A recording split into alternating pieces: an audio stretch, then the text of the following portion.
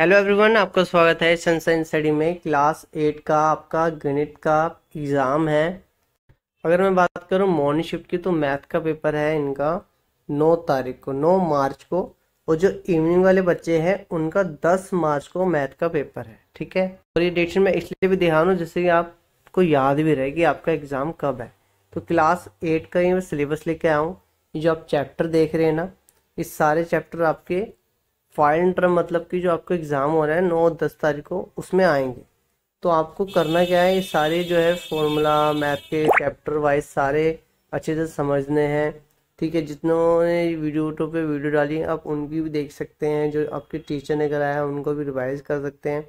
ठीक है सारे जो है वर्गमूल, वर्ग इस सारा कुछ आपके एग्ज़ाम में आने वाला है। मैं इसलिए भी दिखा रहा हूँ, जिससे कि आपको एक बार जो है रिमाइंड के तौर पे याद रहे। ठीक है ना?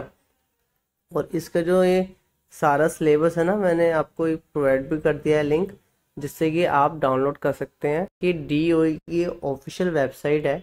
इस पर आप आएँगे तो क्लास एट के सारे सब्जेक्ट के हिंदी मीडियम और इंग्लिश मीडियम दोनों में दिए गए हैं। आप देख सकते हैं, ठीक है? तो ये आप कौन सा भी सब्जेक्ट का चाहते हैं डाउनलोड कर सकते हैं और अपनी प्रिपरेशन बहुत अच्छे से कर लीजिए। और सैंपल क्वेश्चन पेपर जैसे ही रिलीज़ होंगे इस हफ़्ते में हो ही जाएँगे, वैसे मैं आपके लिए वीडियो ले आऊँ। आप चैनल को सब्सक्राइब कर लेना, ठीक है ना? ऐसे जो है, इंग्लिश मीडियम में मैथ का है, आपको उस पर क्लिक करना है। मैथ का जो है, सिलेबस ये भी जो है, डाउनलोड हो जाएगा। तो ये भी चैप्टर वाइज है, देख रहे हैं, चैप्टर टू, चैप्टर थ्री ये आएगा आपके एग्ज़ाम में। तो ये भी मैं आपको दिखा देता हूँ, इंग्लिश मीडियम, हिंदी मीडियम में, ठीक है? मिड टर्म में जो आपका आया था और वो फाइनल टर्म जो फ़र्स्ट टर्म में आया था मिड टर्म में आया था, वो दोनों मिला के आपके फाइनल टर्म में आएँगे, ठीक है ना? लिखा ना एनुअल एग्ज़ाम वोल सिलेबस ठीक है? सारा कुछ आपके एग्ज़ाम में आएगा। ठीक है तो आप डाउनलोड कर लीजिए, और भी सब्जेक्ट के मैंने डाले आप उनको भी देख सकते हैं।